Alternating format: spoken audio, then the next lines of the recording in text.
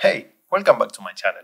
In this video, we will be working with this amazing MacBook Pro featuring the groundbreaking Apple M1 Max chip. But as you may already know, it has an ARM-based architecture and presents a challenge when it comes to virtualizing operating systems of different architectures. So today I will show you how to install a virtual machine running Windows 10 ARM so that you can use the Windows ecosystem on your ARM-powered MacBook. Let's begin. The first question that comes up is which virtualization software should we use? The most known is Parallel Desktop for Mac. It is an amazing virtualization software that stands out because it provides the best results thanks to the included drivers. The only downside is its price. The price starts at 100 US dollars for the basic version and can reach up to 150 US dollars for the advanced features. Being not free, makes it not the ideal choice for me. Another popular software is VMware Fusion Player. One main advantage is that it offers a free version for personal use, making it an attractive option. As we can see, the free version does come with certain limitations compared to the Pro version, but it still meets my requirements and would suit my needs perfectly. All you have to do is create an account and you will have access to download it. Yet another completely free virtualization software is UTM. Being free opens up the opportunity for everyone to explore it, and this will be my chosen option for this tutorial. One of the standout features of UTM is its extensive collection of guides to virtualize various operating systems. In our case, we have a comprehensive guide available on how to virtualize Windows 10 ARM. This guide takes you through the entire process from acquiring and installing Windows 10 to troubleshooting any potential issues that may arise along the way.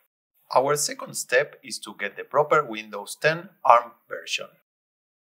If we follow the UTM documentation, the first step is to download Windows 10 ARM, and if we scroll down to the troubleshooting section, it clearly states that the version we should be using must be 21390 or higher. Otherwise, the installer will crash and we will get the awful blue screen of death or BSOD. The download section of this guide provides a link for getting the right version and as soon you follow the link, we'll be redirected to the UUP dump website. Once there, we should locate and click on the Windows version that includes the number 21390 and the ARM64 architecture.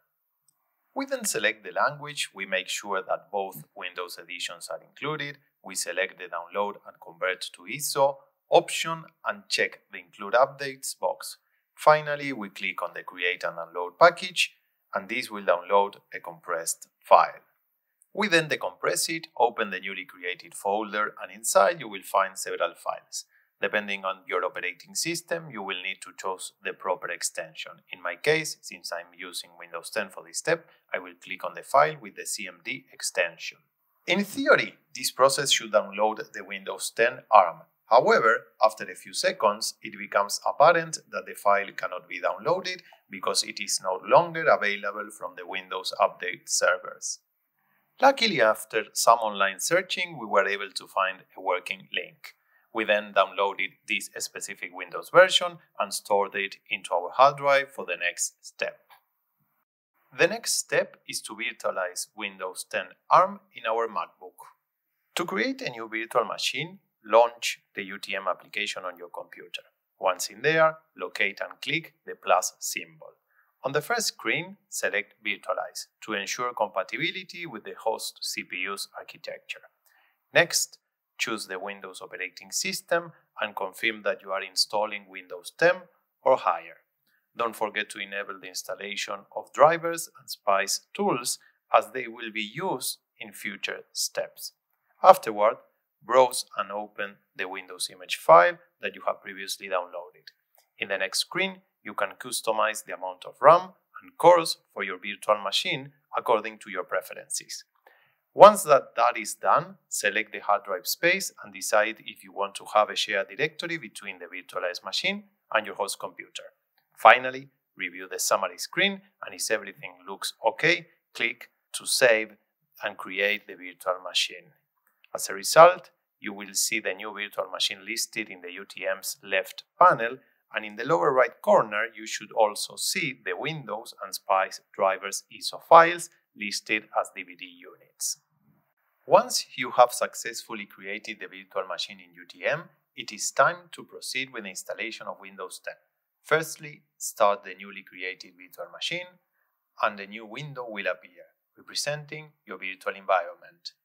After a brief moment, you will see a message asking you to press any key to initiate the installation process. Do so and the installation process will begin. After a few moments, you will be prompted to choose your language, time format, and key distribution. On the next screen, you can enter your product key if you have one, or choose to continue without providing one. Then select the Windows version you prefer and proceed. Accept the license terms and conditions. Then select the virtual drive where you want to install Windows 10 and click Next to begin the installation process. During the installation process, the required files for Windows will be copied into the virtual machine, enabling the installation to proceed. The duration of this step may vary depending on the resources allocated to the virtual machine. In my case, it took approximately 2 minutes and 10 seconds. Eventually, you will be prompted to restart. After the reboot, you may encounter the same message asking you to press any key. To avoid this prompt in the future, just unload the Windows image from the virtual CD drive since it's no longer needed. Then Windows will proceed with some initial configurations. You will be asked to input some information such as your country, keyboard layout, username, and password. Also, some updates may be done, but just follow the prompts and provide the required details.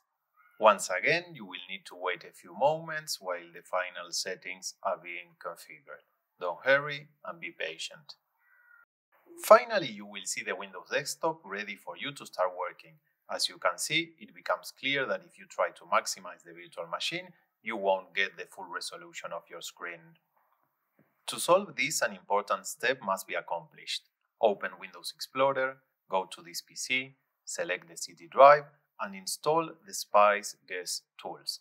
This will install a whole series of drivers that will allow the virtual machine to work perfectly fine after rebooting. After rebooting, you will be able to maximize the screen of your virtual machine and get the full resolution of your screen. With Windows 10 ARM freshly installed, I decided to install the widely known Chrome. To kickstart the process, I opened the provided Microsoft Edge, expecting a straightforward journey. Little did I know, it turned into a series of clicks and further clicks, forming an intricate dance of mouse movements. Despite the unexpected twist, I emerged victorious. In the end, I successfully located the Chrome website, downloaded the installation file, and installed it within the virtual machine. So the final question is if this Windows version can solve my underlying issue. In case you may be asking why I embarked myself on this journey, the answer is simple. I needed to use a specific imaging software called LAS X Office created by the well-known microscope manufacturer Leica. I still don't understand why, but despite the latest version of the software was released in June 2023, the manufacturer has explicitly stated in the release notes that it is compatible only with Windows 10. Since I own a MacBook, there were no other options available for me than to virtualize Windows 10. Having this in mind, let's find out if we can finally install it and use it. The first step was to go to Leica's website and download the installation file. As you can see, the size is pretty interesting, more than 2 gigabytes. Once in the hard drive, I unzipped it using 7-zip and proceeded with installation. The process went smoothly and in the end a reboot was requested. After rebooting the virtual machine and getting back into Windows, I opened the newly created LAS X Office icon and waited a few moments until the software was completely loaded and ready to use. In conclusion, despite the ARM-based architecture of my MacBook, I successfully virtualized Windows 10 ARM using UTM as the chosen virtualization software. This allowed me to install and use software which was specifically designed to work with Windows 10. Although the journey involved navigating through various steps and encountering unexpected problems, the final results enabled me to overcome the limitations and utilize the necessary software on my MacBook Pro. Thank you all for watching this video. If you enjoyed it, please consider subscribing so you stay updated with my future projects. If you found this video helpful or entertaining, please give it a thumbs up and share it with your friends. Your support means a lot to me. Until next time, and be happy.